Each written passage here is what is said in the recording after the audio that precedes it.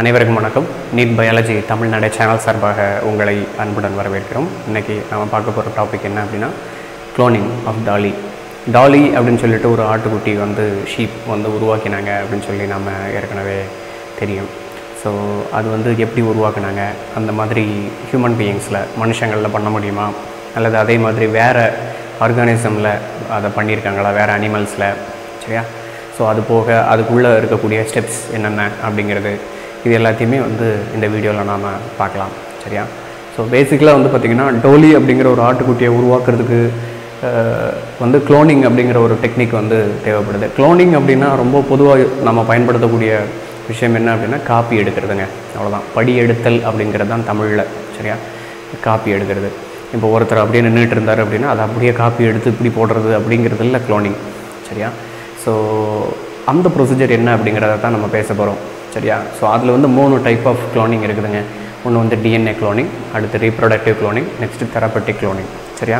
So இதில் பார்த்தீங்கன்னா reproductive cloning எடுத்துக்கிட்டிங்க அப்படின்னா அதுதான் வந்து சாதாரண டோலியை உருவாக்குன அந்த குளோனிங்குங்க சரியா? டிஎன்ஏ குளோனிங் அப்படிங்கிறது உங்களுக்கு என்னென்னு நல்லாவே தெரியும். நார்மலாக வந்து ஒரு டிஎன்ஏவை வந்து க்ளோன் பண்ணி ரீகாமினன்ட் டிஎன்ஏ டெக்னாலஜி அப்படின்னு சொல்லிட்டு நம்ம ஒன்று படிச்சிருப்போம் இல்லையா? ஸோ அந்த ரீகாமினன்ட் டிஎன்ஏ டெக்னாலஜியில் வர்றது தான் இந்த டிஎன்ஏ க்ளோனிங் அதாவது டிஎன்ஏவை காப்பி எடுத்து வேற ஒரு செல்லுக்குள்ளே வச்சு அந்த செல்லுக்குள்ளே நம்ம மல்டிப்ளை பண்ணி நமக்கு தேவையான பொருட்களை வந்து உற்பத்தி செய்து கொள்வது சரியா?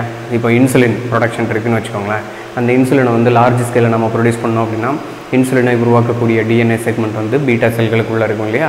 அந்த பீட்டா செல்களுக்குள்ளே இருக்கக்கூடிய டிஎன்ஏவை எடுத்து அதை வந்து நாம் மல்டிப்ளை பண்ணி அதை வேறு ஒரு செல்குள்ளே சாரி மல்டிப்ளை பண்ணுறதுக்கு முன்னாடி நாம் அந்த டிஎன்ஏ செக்மெண்ட்டை எடுத்து அதை நிறைய காப்பீஸ் எடுக்கிறதுக்கு நம்ம என்ன பண்ணுவோம்? ஒரு பாக்டீரியாக்குள்ளே இருக்கிற பிளாஸ்மிட்டில் கொண்டு போய் வச்சுருவோம் ரைட்டா வச்சதுக்கப்புறம் அந்த பாக்டீரியா மல்டிப்ளை பண்ணோம். அப்போ நாம் உள்ளே அனுப்பின அந்த டிஎன்ஏ இருக்கு இல்லையா? அது மல்டிப்ளை ஆகி நிறைய செல்களுக்குள்ளே போயிடும் ஈகோலை e. செல்களுக்குள்ளே பைனரி ஃபிஷன் மூலமாக. சரியா? ஸோ இதுக்கு பேர் வந்து பார்த்திங்க அப்படின்னாக்கா டிஎன்ஏ குளோனிங் ஸோ இதுதான் இப்போதைக்கு வைட்லி அக்செப்டட் சரியா? இப்போதைக்கு ப்ராக்டிக்கலாக எல்லா சயின்டிஸ்ட்டுமே வந்து பண்ணக்கூடிய விஷயம் வந்து பார்த்திங்க அப்படின்னா இந்த ரீகாமினன்ட் டிஎன்ஏ டெக்னாலஜிக்கு வந்து எந்த விதமான ரெஸ்ட்ரிக்ஷனும் இல்லை எந்த விதமான பேனிங்கும் கிடையாது. ஆனால் ரீப்ரொடக்டிவ் குளோனிங்க்கும் சரி தெரப்பட்டிக் குளோனிங்க்கும் சரி நிறைய ரெஸ்ட்ரிக்ஷன்ஸ் இருக்குதுங்க. சரியா? இது நிறைய இடத்துல பேன் பண்ணி வச்சுருக்கிறாங்க. சரி எதுக்கு அப்படிங்கிறத நம்ம பின்னாடி பார்க்கலாம். சரியா? இப்போதைக்கு இந்த ரீப்ரொடக்டிவ் குளோனிங்கில் டாலி அப்படிங்கிற ஒரு ஆட்டுக்குட்டியை வந்து எப்படி உருவாக்குனாங்க அப்படிங்கிறத பார்க்கலாம். ஸோ இந்த குளோனிங் அப்படிங்கிற ஒரு விஷயத்தை பயன்படுத்தி டாலி அப்படிங்கிற ஒரு ஷீப்பை வந்து உருவாக்கினவங்க யார் அப்படின்னு பார்த்தீங்கன்னா இந்த ரெண்டு பேர் தான். ஆயிரத்தி தொள்ளாயிரத்தி தொண்ணூற்றி ஏழில் அயன் வெல்மெட் அண்ட் கேம்பல் அப்படின்னு ரெண்டு பேருங்க. சரியா? இவங்க ரெண்டு பேர் வந்து என்ன பண்ணினாங்க அப்படிங்கிற விஷயத்தை தான் இப்போ நாம் பார்க்க போகிறோம் ஸோ அதாவது குளோனிங் அப்படிங்கிற ஒரு விஷயத்தை படிக்கிறதுக்கு முன்னாடி நார்மலாக வந்து ஃபெர்டிலைசேஷன்னா என்னது? சரியா? எப்படி வந்து நார்மலாக ஒரு இண்டிவிஜுவல் வந்து உற்பத்தி ஆகுது? சரியா இப்போ ஹியூமன் பீங்ஸாக இருந்தாலும் சரி புதுசாக வந்து ஒரு குழந்தை வந்து ஃபார்ம் ஆகுது அப்படின்னாக்கா அதில் வந்து ஃபெர்டிலைசேஷனுக்கு அப்புறம் என்ன நடக்கும் அப்படின்னு சொல்லிட்டு நம்ம பார்க்கலாம். ஸோ இது வந்து உங்களுடைய ஸ்டேட் போர்ட் புக்கிலிருந்து எடுத்த ஒரு பிக்சர் தான். ஆக்சுவலாக வந்து பார்த்திங்கன்னா இது வந்து ஒரு டோட்டல் ஃபீமேல் ரீப்ரொடக்டிவ் சிஸ்டம் இதே மாதிரியான ஒரு பிக்சர் மிரர் இமேஜ் வந்து அந்த சைடும் இருக்கும். ஸோ இது வந்து மேக்னிஃபை பண்ணியிருக்காங்க நம்ம. சரியா? இதில் வந்து இதுதான் ஓவரிங்க இந்த ஓவரியிலேருந்து எக் வந்து இந்த இடத்துல ரிலீஸ் ஆகும். சரியா? இது ஓவரி இது எக்கு இது ஃபெலோப்பியன் டியூப் அல்லது ஓவிடக்ட் அப்படிம்பாங்க. இதுக்கு பேர் யூட்ரஸ் அதுக்கப்புறம் இந்த side external urethra sorry external genitalia இருக்கும். சரியா? பிறப்புறுப்புன்னு சொல்லுவாங்க அது. ஸோ அந்த மாதிரியான விஷயங்கள் வந்து இந்த இடத்துல இருக்கும். ஸோ இதில் இந்த யூட்ரஸ் அப்படிங்கிறது தான் வந்து ரொம்ப ரொம்ப முக்கியம் ஞாபகம் வச்சுக்கோங்க. சரியா? யூட்ரஸ்ஸு ஓவிடக்ட்டு ஃபெலோப்பியன் டியூப் ஓவிடக்ட்டுக்கு இன்னொரு பேர் தான் ஃபெலோப்பியன் டியூப் சரியா?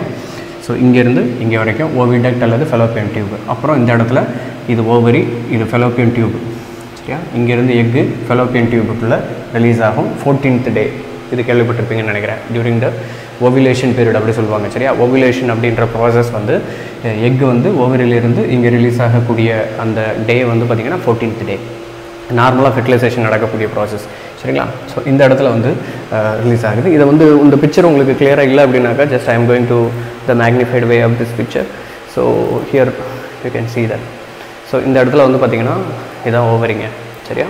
ஸோ ஓவரி ரீஜன் இருக்குது இந்த ஓவரி ரீஜனில் எக் இங்கே தான் ஃபார்ம் ஆகும். சரியா? செகண்டரி ஊசைட்ஸாக இந்த இடத்துல ஃபார்ம் ஆகிருக்கும் அதுக்கப்புறம் திரும்பி இங்கேருந்து இது வந்து ஸ்ட்ரைட்டாகவே it is released into this fallopian tube சரியா? ஃபெலோப்பியன் டியூப் இந்த ஃபெலோப்பியன் டியூபுக்குள்ளே ரிலீஸ் ஆகி போயிடுது. போனதுக்கப்புறம் ஆக்சுவலாக நல்லா கவனிக்கணும். இந்த ஃபெலோப்பியன் டியூபுக்குள்ளே இருக்கும்போது சரியா? இந்த ஃபெலோப்பியன் டியூபுக்குள்ளே இருக்கும்போது ஆஹ், தான் வந்து ஃபெர்டிலைசேஷன் நடக்கணும். சரியா? அந்த ஃபோர்டீன்த் ஆர் ஃபிஃப்டீன்த் டே இப்போ வந்து இங்கேருந்து இப்படியே வரும். சரியா? இப்போ வந்து நீங்கள் இதை இன்னும் கொஞ்சம் ஷார்ட் ஆன் பண்ணான்னு வச்சுக்கோங்களேன். ஸோ இந்த மாதிரி இருந்துச்சு அப்படின்னா ஸ்பேம் வந்து இங்கேருந்து இப்படியே வரும். வந்து இந்த இடத்துல இருக்கக்கூடிய எக்கை ஃபெர்டிலைஸ் பண்ணணும். ஸோ ஓவி டக்டில் எக்கு ஃபெர்டிலைஸ் ஆகும்போது தான் ஓவி டக்டில் இருக்கும் பொழுது எக்கு ஃபெர்டிலைஸ் ஆச்சு அப்படின்னா தான் வந்து that is called a successful fertilisation சரியா? ஸோ இந்த விஷயத்தை எதுக்காக நான் சொல்கிறேன் அப்படின்னாக்கா இங்கே நடக்கக்கூடிய ப்ராசஸ் இருக்குது பார்த்தீங்களா இதுவும் க்ளோனிங்கில் நடக்கக்கூடிய ப்ராசஸும் சிம்பிள் தான். ரைட்டா ஸோ அது எப்படி நடக்குது அப்படிங்கிறத நான் சொல்லிடுறேன். ஆக்சுவலாக இந்த சைடு வந்து பார்த்திங்கன்னா ஒரு டூ செல்டு ஸ்டேஜில் இருக்கும். சரியா? ஃபஸ்ட்டு ஜைகோட் இந்த இடத்துல ஃபார்ம் ஆகிடுச்சு ஆஃப்டர் ஃபெர்டிலைசேஷன் சரியா? ஆஃப்டர் ஃபெர்டிலைசேஷன் ஜைகோட் இந்த இடத்துல ஃபார்ம் ஆகிடும் அதுக்கப்புறம் இந்த இடத்துல ரெண்டு செல்ஸ் டூ செல்டு ஸ்டேஜ் ரைட்டா அதுக்கப்புறம் ஃபோர் செல்டு ஸ்டேஜ் ஃபார்ம் ஆகும். அதுக்கப்புறம் எயிட் செல்டு ஸ்டேஜ் ஃபார்ம் ஆகும். அதுக்கப்புறம் இந்த இடத்துல யூட்ரஸில் போய் இம்ப்ளான்டேஷன் ஆகும். சரியா? ஸோ நார்மலாக இது வந்து ஆக்சுவலி ஃபெலோப்பியன் டியூபு இந்த ஃபெலோப்பியன் டியூப்பில் ஃபெர்டிலைசேஷன் ப்ராசஸ் தான் இங்கே போட்டிருக்கு. சரிங்களா? ஸோ ஃபெர்டிலைசேஷன் ப்ராசஸில் sperm will be fusing with egg அந்த நியூக்ளியஸ் கூட ஃபியூஸ் ஆகிடுச்சு அப்படின்னா இந்த இடத்துல தான் அது நடக்குது. ஸோ அதுக்கப்புறம் இதில் டூ செல்டு ஸ்டேஜ் ரெண்டு செல் வந்து இதில் ஃபார்ம் ஆகிருக்கு சரிங்களா? அதாவது ஜைகோட் ஃபார்ம் ஆனதுக்கப்புறம் அது ரெண்டாக டிவைட் ஆகுது பை மைட்டாசிஸ் டிவிஷனுங்க சரியா? மைட்டாசிஸ் டிவிஷன் ஸோ நாம் எல்லாமே வந்து இந்த மாதிரி சைக்கோட்டாக தான் இருந்திருப்போம். ஒரே ஒரு சிங்கிள் செல்லாக தான் இருந்திருப்போம். அதுக்கப்புறம் அது மல்டிப்ளை ஆகி ஃபோர் செல் ஸ்டேஜுக்கு போய் ஃபோர் செல் ஸ்டேஜ்லேருந்து எயிட் செல் ஸ்டேஜுக்கு போய் அதுக்கப்புறம் யூட்ரஸ்குள்ளே இந்த இடத்துல இம்ப்ளான்டேஷன் ஆகிடுது சரியா? இந்த இடத்துல. ஸோ இது வந்து பார்த்திங்கன்னா எண்டோமெட்ரியம் அப்படின்னு சொல்லுவாங்க. இந்த எண்டோமெட்ரியத்தினுடைய இன்ன இது வந்து யூட்ரிஸ் ஸோ யூட்ரஸினுடைய இன்னர் வால் இருக்குது பார்த்தீங்களா this is called as endometrium inner wall of the uterus is called as endometrium so அந்த எண்டோமெட்ரியமில் இந்த uh, செல் அதாவது uh, பிளாஸ்டோசிஸ்ட் அப்படிம்பாங்க. சரியா? இதுக்கு பேர் என்னது? பிளாஸ்டோசிஸ்ட் சரியா? அதாவது டூ செல் ஸ்டேஜ் அதுக்கப்புறம் four cell stage eight cell stage இப்படி மல்டிப்ளை ஆகி கடைசியாக ஒரு பிளாஸ்டோசிஸ்ட் அப்படிங்கிற ஒரு ஸ்டேஜ் வரும்பொழுது தான் சரியா? இந்த இடத்துல இம்ப்ளான்டேஷன் நடக்கும். ஸோ இந்த இம்ப்ளான்டேஷனுக்காக endometrium it should be ready endometrium வந்து ரொம்ப ஸ்ட்ராங்காக இருக்க வேண்டும். அப்போ தான் இம்ப்ளான்டேஷன் நடக்கும். ஸோ இம்ப்ளான்டேஷன் எந்த ஸ்டேஜில் நடக்குதுங்க? பிளாஸ்டோ சிஸ்ட்டு ஸ்டேஜில் நடக்குது. நல்லா ஞாபகம் வச்சுக்கோங்க. சரியா? ஸோ இந்த விஷயத்தை சொல்கிறதுக்காக தான் இப்போ ஹியூமன் ஃபெர்டிலைசேஷனை நான் குளோனிங்குள்ளே கொண்டு வந்தேன். Um, சரி. இப்போ குளோனிங்கில் என்ன நடக்குது அப்படின்னு பார்த்தீங்கன்னா ஃபஸ்ட் ஆஃப் ஆல் ஒரு எக்கும் ஸ்போமும் ஃபியூஸ் ஆச்சு அப்படின்னா தான் ஜைகோட் ஃபார்ம் ஆகும் அப்படின்னு சொல்லிட்டு கொஞ்சம் நேரத்துக்கு முன்னாடி பார்த்தோம். That is normal natural process சரியா? இப்போ வந்து இதுவே வந்து ஒரு க்ளோனிங்காக இருந்துச்சுன்னா அது எப்படி இருக்கும்? சரியா ஒரு க்ளோனிங்காக இருந்துச்சுன்னா அது எப்படி இருக்கும்? இந்த புக் வந்து இந்த பிக்சர் வந்து பார்த்தீங்கன்னா உங்களுடைய ஸ்டேட் போர்ட் புக்கில் இருந்து எடுத்த பிக்சர் தான். இந்த பிக்சரில் இதே மாதிரி நாம் வந்து ஒரு க்ளோனிங் ஃபெர்டிலைசேஷன் ப்ராசஸை நடத்த போகிறோம் ஸோ அந்த டயக்ராம் வந்து நான் உங்களுக்கு காமிக்கிறேன். ஸோ இதில் வந்து பார்த்திங்கன்னா so this is what is exact picture so இந்த இடத்துல வந்து பார்த்திங்கன்னா இது வந்து ரெண்டு இது மேலாக இருக்கலாம் அல்லது ஃபீமேலாக இருக்கலாம். ஸோ எனிதிங் எல்ஸ் நமக்கு ஒரே ஒரு ஃபீமேல் மட்டும் தேவைப்படுங்க. சரியா? டோலியை வந்து உருவாக்குறதுக்கு ஒரு ஃபீமேல் இப்போ யாரை வந்து நீங்கள் க்ளோன் பண்ண போகிறீங்க சரியா? இப்போ யாரை வந்து நீங்கள் க்ளோன் பண்ண போகிறீங்க அல்லது ஒரு டோலி அப்படிங்கிற ஒரு ஆட்டுக்குட்டியை வந்து உற்பத்தி செய்கிறதுக்கு அந்த டோலி எதிலேருந்து உருவாகி இருக்கும் அப்படின்னு பார்த்தீங்கன்னா ஒரு மேல் சரியா? இவங்க எப்படி உருவாக்கணும் இது உருவாக்கியிருக்காங்க அப்படிங்கிறத நான் சொல்லிடுறேன். ஒரு மேல் இருக்குதுங்க. சாதாரண ஒரு மேல் ஷீப் இருக்குது அந்த மேல் ஷீப்பினுடைய மடிப்பகுதி இருக்கு இல்லையா? அடிப்பகுதி. சரியா? மடிப்பகுதி. அடர் செல்ஸ் அப்படின்னு சொல்லுவாங்க. அதிலிருந்து ஒரு டிப்ளாய்டு செல்ஸ் எடுத்துக்கிறாங்க. சரிங்களா? இதில் கொஞ்ச நேரத்துக்கு முன்னாடி நீங்கள் பார்த்த அந்த ஃபெர்டிலைசேஷன் வீடியோவில் சரியா? கொஞ்ச நேரத்துக்கு முன்னாடி பார்த்த ஃபெர்டிலைசேஷன் வீடியோவில் என்ன வந்துச்சு? அதில் வந்து ஹேப்ளாய்டும் ஹேப்ளாய்டும் ஃபியூஸ் ஆகிருக்கும் நீங்கள் நல்லா கவனிச்சிங்கன்னா தெரியும். ஸோ இந்த இடத்துல இது ஓவரி சாரி ஓவரி ஓவரிலிருந்து ஓவம் ரிலீஸ் ஆகிருக்கு எக்கு. அந்த எக்கு வந்து இட் இஸ் அ ஹேப்ளாய்டு சரியா? அதே போல் ஃபியூஸ் ஆன ஸ்பேம் இருக்குல்ல இந்த ஃபியூஸ் ஆகிற ஸ்பேம் இந்த ஸ்பேம் வந்து பார்த்திங்கன்னா that is also haploid so அப்போ haploid haploid diploid zygote form ஆச்சு. அந்த டிப்ளாய்டு தான் வந்து மல்டிப்ளை ஆகி போய்கிட்டு இருக்குது இது வந்து நார்மல் நேச்சுரல் ப்ராசஸ் ஆனால் இந்த இதில் பார்த்தீங்கன்னா எப்படி இருக்கும்? இதில் வந்து we are taking one diploid செல்லிங்க டிப்ளாய்டுன்னா என்னது? குரோமோசோம் நம்பர் வந்து பேரடாக இருக்கும் எப்போதுமே. சரியா? டூ என் அப்படின்னு சொல்லுவாங்க இல்லையா? அது ஹியூமன் பீயிங்ஸாக இருந்தாங்க அப்படின்னா அது டுவெண்ட்டி த்ரீ பேர்ஸ் சரியா? Human பீயிங்ஸினுடைய chromosome number forty six that is twenty three பேர்ஸாக இருந்துச்சு அப்படின்னாக்கா அது டூ என் சரியா? டிப்ளாய்டு அப்படின்னு சொல்லுவாங்க. அது ஸ்பேம்லையும் எக்லையும் எப்படி இருக்கும்? ஹேப்ளாய்டாக இருக்கும். ஒற்றை மடியம் இரட்டை மடியம் அப்படின்னு சொல்லுவாங்கள்ல அது. சரியா? ஸோ இதில் ஒரு டிப்ளாய்டு செல்லை இங்கேருந்து எடுக்கிறாங்க. சரியா? சாதாரண சொமேட்டிக் செல் அந்த செல்லை எடுத்து சரியா? அதுக்குள்ளே இருக்கக்கூடிய நியூக்ளியஸ் மட்டும் இருக்குல்ல? அந்த நியூக்ளியஸை மட்டும் தனியாக எடுப்பாங்க. சரியா? அந்த நியூக்ளியஸை மட்டும் தனியாக எடுப்பாங்க. இந்த இடத்துல பார்த்தீங்கன்னா எக்கு நியூக்ளியஸ் இதிலிருந்து ப்ரொடியூஸ் ஆகிருக்கும் இது ஹேப்ளாய்டு சரியா? இது ஹேப்ளாய்டு ஹேப்ளாய்டு அப்படின்னா ஒற்றை மீடியம் இது இரட்டை மீடியம் டூ அன் கண்டிஷனில் இருக்குது இது ஒற்றை மடியம் என் கண்டிஷனில் இருக்குது ஹேப்ளாய்டு ஒற்றை மடியத்தில் இருக்குது இது இரட்டை மடியத்தில் இருக்குது நல்லா ஞாபகம் வச்சுக்கிடணும். இது உள்ளே இருக்கக்கூடிய குரோமோசோம்களினுடைய எண்ணிக்கை டூ என் இங்கே என் இப்போ நாம் என்ன பண்ணுறோம் இந்த எக்குக்குள்ளே இருக்கக்கூடிய இந்த நியூக்ளியஸை வெளியே தூக்கி போட்டுறோம். That is called as enucleation அப்படி சொல்கிறது சரிங்களா? இ நியூக்ளியேஷன் பண்ணுறாங்க ஸோ இங்கே இருக்கக்கூடிய எக்கை வந்து இ நியூக்ளியேஷன் பண்ணி வெளியில் வச்சிடுறாங்க. வச்சுட்டு இங்கே எம்டி சைட்டோபிளாசம் இருக்குது எக்கினுடைய சைட்டோபிளாசம் இருக்குது அடுத்து என்ன பண்ணுறோம் அப்படின்னு பார்த்தீங்கன்னா இந்த இடத்துல இங்கே இருக்கிற நியூக்ளியஸ் எடுத்து இதுக்குள்ளே வச்சு இங்கே ஒரு செல்லை நாம் உருவாக்கி வச்சிடறோம்.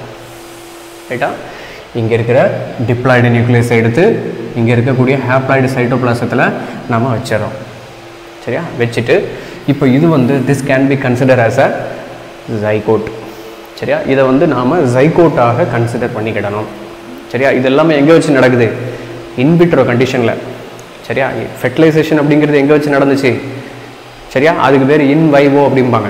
இதுக்கு முன்னாடி பார்த்த ஹியூமன் ஃபெர்டிலைசேஷன் இருக்குல்ல அது வந்து இன் வைவோ அப்படின்னு சொல்லுவாங்க. அது வந்து உடலுக்குள்ளே நடக்குது. ஒரு உயிரினத்திற்கு உள்ளே நடக்குது. சரியா? ஃபீமேலில் இருக்கக்கூடிய ஓவரி பகுதியில் நடக்குது இல்லையா? ஓவரிக்கு பக்கத்தில் இருக்கக்கூடிய ஓவிடக்ட் பகுதியில் அது நடக்குது அந்த ஃபெர்டிலைசேஷன் ஆனால் இங்கே பாருங்கள் இது இன்விட்ரோ கண்டிஷனில் நடக்குது. நாம் ஒரு செல்லை வெளியே எடுத்துட்டோம் என்விரான்மெண்ட்டு அதே போல் எக்கையும் வெளியில் எடுத்துட்டோம். இப்போ எக்குக்குள்ளே இருக்கிற நியூக்ளியஸை தூக்கி போட்டு இதுக்குள்ளே இருக்கிற நியூக்ளியஸை எடுத்து எக்கு உள்ளே வச்சிடறோம் வச்சதுக்கப்புறம் இதை ஒரு பெட்ரி பிளேட்டில் போட்டு தகுந்த மீடியம் ஊடகம்னு சொல்லுவாங்கள்ல அந்த ஊடகத்தை போட்டு இதை மல்டிப்ளை பண்ணுறோம் அதாவது அங்கே வந்து ஓவிடக்கில் two celled stage four celled stage eight celled ஸ்டேஜ்னு வரிசையாக ஓவி டக்டுக்குள்ளே ஃபார்ம் ஆகி பிளாஸ்டோசிஸ்ட் ஃபார்ம் ஆகி அதுக்கப்புறம் அந்த யூட்ரஸில் போய் இம்ப்ளான்ட் ஆச்சுல்ல? ஆனால் இங்கே என்ன பண்ணுறோம் ஒரே ஒரு சைக்கோட்டு இது எல்லாத்தையுமே லேபரட்டரி கண்டிஷனில் two celled stage eight celled stage அதுக்கப்புறம் சிக்ஸ்டீன் செல்டு ஸ்டேஜ் அதுக்கப்புறம் பிளாஸ்டோசிஸ்ட் ஸ்டேஜ் வரைக்கும் நாம் இந்த பெட்ரிபிளேட்டில் வளர்க்குறோம். ஞாபகம் வச்சுக்கோங்க. சரியா? பெட்ரிபிளேட்டில் வளர்த்துட்டோம். ஸோ அப்போ பிளாஸ்டோசிஸ்ட்டு ஃபார்ம் ஆக்கிடுச்சுங்க ஸோ இந்த பிளாஸ்டோ பிளாஸ்டோசிஸ்ட் ஃபார்ம் ஆனதுக்கப்புறம் அதை எடுத்து இன்னொரு சர்வகேட் மதர் அப்படிம்பாங்க. சரியா? அந்த ஃபீமேல் இல்லாமல் வேறு ஒரு ஃபீமேல் கோட் ஷீப் இருக்குல்ல அந்த ஷீப் எடுத்து அதனுடைய யூட்ரஸ்குள்ளே நாம் வச்சிடுறோம். யூட்ரஸ்குள்ளே இம்ப்ளான்டேஷன் பண்ணிடுறோம். சரியா? யூட்ரஸ்குள்ளே இம்ப்ளான்டேஷன் பண்ணிட்டோம் அப்படின்னாக்க ஆட்டோமேட்டிக்காக அது ஒரு பார்ட்டிவிஷன் லெவலுக்கு ரெடி ஆகிரும் அதாவது ஒரு இன்னொரு ஷீப்பை வந்து உருவாக்கக்கூடிய அளவுக்கு அது ரெடி ஆகிடும் சரியா? இது வந்து பேசிக்காக இருக்கக்கூடிய விஷயம். இப்போது இன்விட்ரோ ஃபெர்டிலைசேஷன் நீங்கள் கேள்விப்பட்டிருப்பீங்க. ஐவிஎஃப் அப்படின்னு சொல்லிட்டு. சரியா? ஃபெர்டிலைசேஷன் அப்படிங்கிறது வந்து அங்கே ஓவி டக்கில் நடக்காமல் ஓகே மேல்கிட்ட இருந்து ஸ்பெம் எடுத்து ஃபீமேலில் இருந்து எக் எடுத்து அதை வந்து ஒரு ஃபியூஸ் பண்ணி வெளியில் வச்சு இன்விட்ரோ கண்டிஷனில் ஃபியூஸ் பண்ணி ஜைகோட்டை உருவாக்கி பிளாஸ்டோசிஸ்ட்டை உருவாக்கி அதுக்கப்புறம் அந்த பிளாஸ்டோசிஸ்ட்டை கொண்டு போய் யூட்ரஸில் வைக்கிறது அப்படிங்கிறது ஒரு டைப் ஆஃப் இன்விட்ரோ ஃபெர்டிலைசேஷன் அதுக்கப்புறம் இன்னும் கிஃப்ட்டு ஜிஃப்ட்டு அப்படின்னு சொல்லிட்டு நிறைய டெக்னிக்ஸ் எல்லாம் வந்துடுச்சு. ஸோ அந்த டெக்னிக்ஸ் பற்றி நம்ம இன்னொரு வீடியோவில் நம்ம பேசலாம்.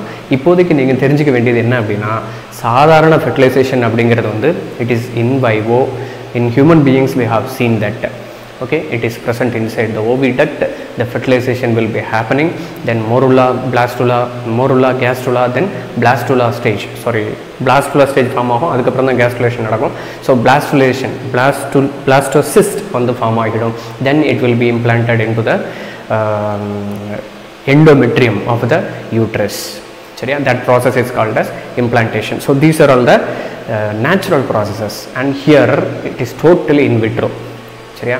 டோட்டலாக இன்விட்ரோ கண்டிஷனில் அது நடக்குது. இங்கேருந்து அட்ரஸில் எடுத்துக்கிறோம் இங்கேருந்து எக் எடுத்துக்கிறோம் எக்கில் இருக்கிற நியூக்ளியஸ் தூக்கி போடுறோம்.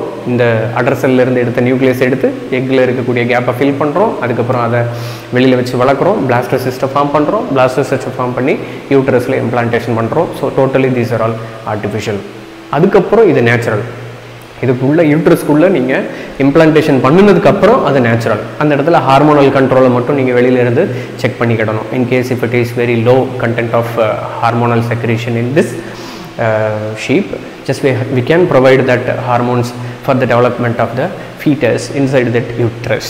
சரிங்களா? ஸோ இந்த செரோகேட் மதர் அப்படிம்பாங்க. இதுக்கு பேர் வாடகை தாய் அப்படிம்பாங்க. சரியா? ஸோ இதுதாங்க டோலி. சரியா? இந்த டோலி வந்து ஃபார்ம் ஆச்சு.